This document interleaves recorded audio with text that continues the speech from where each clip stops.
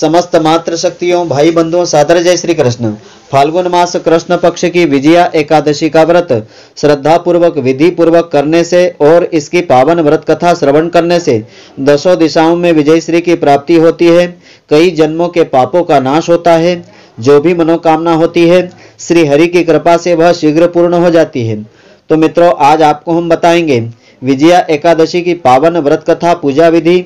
पारण का समय और इस दिन कौन कौन से विशेष व सटीक उपाय आपको करना चाहिए, जिससे कि आपकी मनोकामनाएँ शीघ्र पूर्ण हो। तो सबसे पहले विजया एकादशी की पौराणिक व्रत कथा हम सुनाते हैं। इसे ध्यान पूर्वक आप श्रवण करें। उसके पश्चात इसका शुभ मुहूर्त और इस दिन पूजन अर्चन आपको किस प्रकार से करना चाहिए, वह भी आपको हम बताएँगे। तो इसकी पावन व्रत कथा इस प्रकार से है। भगवान श्री कृष्ण जी कहते हैं कि हे राजन, फाल्गुन मास में कृष्ण पक्ष की एकादशी का नाम विजया एकादशी है। इस व्रत के प्रभाव से राजाओं को विजय और मनुष्यों को पापों से मुक्ति मिल जाती है। इसके महात्म के श्रवण व पठन से सभी पाप नष्ट हो जाते हैं और मनोकामनाएँ शीघ्र पूर्ण होती है। इससे वाजपेयी यज्ञ के समान फलों की प्राप्ति भी हो जाती है।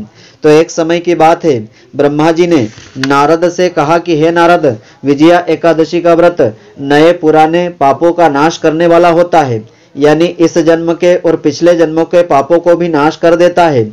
यह विजया एकादशी व्रत करने वालों को अपने कार्य क्षेत्र में विजय प्राप्त करवाती है। तो त्रेता युग में मर्यादा पुरुषोत्तम श्री राम को पिता की आज्ञा से चौदह वर्ष का वनवास मिला था। वे भाई लक्ष्मण तथा सीता जी सहित पंचवटी में निवास करने लगे, जहाँ से लंका नरेश दुष्ट रावण ने सीता जी का हरण कर लिया था। श्री रामचंद्र जी और लक्ष्मण अत्यंत दुखी और व्याकुल हो गए थे। श्री राम भाई लक्ष्मण को साथ लेकर के सीता जी की खोज में चल दिए थे। आगे चल करके वे समुद्र तट पर पहुँचे। वहाँ कुमारी द्वीप में बकदा लभ्य नामक अत्यंत तेजस्वी मुनि निवास करते थे। श्री रामचंद्र जी बकदा लभ्य ऋषि के पास आश्रम में गए। वहाँ जाकर के उनको प्रणाम करके बैठ गए। मुनि इनको देख करके पहचान गए और बड़े ही प्रसन्न हुए। उन्होंने मनुष्य रूप धारण किए हुए भगवान मर्यादा पुरुष, पुरुषोत्तम से पूछा कि, हे श्री राम आपका यहाँ आगमन कैसे हुआ है? तो श्री रामचंद्र जी कहने लगे कि, हे श्रेष्ठ ऋषिवर, मैं अपनी सेना सहित यहाँ समुद्र किनारे आया हूँ और रावण की लंका पर विजय प्राप्त करने के लिए जा रहा हूँ। आप कृपा करके समुद्र पार करने का कोई उपाय बतलाइए। समुद्र पार करने पर ही मैं विजय को प्राप्त कर सकूँगा। तब महर्षि बकदालभ्य ऋषि कहते हैं कि फाल्गुन मास के कृष्ण पक्ष की विजया एकादशी का व्रत करने से निश्चय ही आपकी विजय श्री होगी। आप अपनी वानर सेना सहित समुद्र भी पार कर लेंगे। श्री राम जी के पूछने पर महर्षि बकदालभ्य ने कहा कि इस व्रत की विधि बहुत ही साधारण व सरल है। दसवीं के दिन सोने, चांदी, तांबा या मिट्टी का एक कलश स्थापित करें। उस कलश को जल से भर करके तथा पंच पल्लव रख करके एक वेदिका पर विराजित करें। उस कलश के नीचे सप्त धान्य सात प्रकार का अनाज रखें और उसके ऊपर जव रखें। उस पर श्रीमन नारायण भगवान की मूर्ति को विराजित करें। एकादशी के दिन स्नान आदि से निवृत्त होकर के धूप, दीप, गंध, पुष्प, नैवेद्य, नारियल आदि से सारे दिन भगवान का पूजन अर्चन करें। तत्पश्चात श्रीमन नारायण के मूर्ति युक्त कलश के सामने बैठ करके दिन भर भजन ध्यान में समय व्यतीत करें। रात्रि को भी कीर्तन, भजन और जागरण आदि करें। द्वादशी को अखंड व्रत की सिद्धि के लिए शुद्ध घी का दीपक जलाएँ। द्वादशी के दिन नित्य नियमों से निवृत्त होकर के नदी या सरोवर पर स्नान करने के पश्चात वह कलश किसी विद्वान वेद वेत्ता ब्राह्मण को दान में देवें। तो हे राम, यदि आप इस व्रत को अपने सेनापतियों के साथ, श्रद्धा सहित, भक्ति के साथ करेंगे तो आपकी विजयश्री निश्चित होगी। श्री रामचंद्र जी ने ऋषि के कथन अनुसार यह एकादशी का व्रत संपन्न किया और समुद्र पार करके राक्षसों पर विजय प्राप्त की। उन्होंने युद्ध में रावण को मार करके लंका पर विजय प्राप्त की और सीता जी को बंधन मुक्त करवाया। तो हे पांडु नंदन जो विधि पूर्वक श्रद्धा पूर्वक इस व्रत को करता है, जीवन में उसकी विजय अवश्य होती है। तो यह जो कथा है, स्कंद पुराण में वर्णित की गई है। इस व्रत में फलाहार का विधान इस प्रकार से है। इस दिन सिंघाड़े का सागार प्रातः काल लेना चाहिए। सिंगाड़े कुट्टू व दूध से बने हुए पदार्थ, फल आदि का सेवन इस व्रत में आप कर सकते हैं। तो इस दिन का शुभ मुहूर्त इस प्रकार से रहेगा। विजया एकादशी तिथि का प्रारंभ 16 फरवरी 2023 को प्रातः काल पाँच बज के बत्तीस मिनट पर होगा। एकादशी तिथि का समापन 17 फरवरी 2023 को दो बज के उनपचास मिनट पर होगा। विजया एकादशी व्रत गुरुवार 16 फरवरी 2023 को रखा जाएगा। विजया एकादशी पारण का समय रहेगा।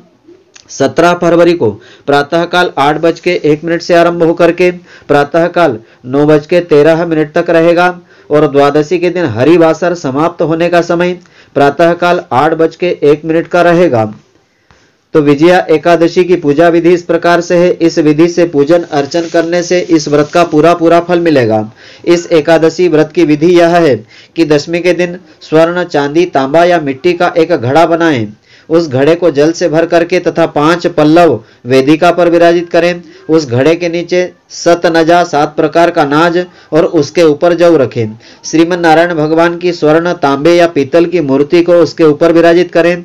एकादशी के दिन स्नान आदि से निवृत्त होकर के धूप, दीप, नैवेद्य, नारियल आदि के द्वारा भगवान की पूजन, अर्चन करें।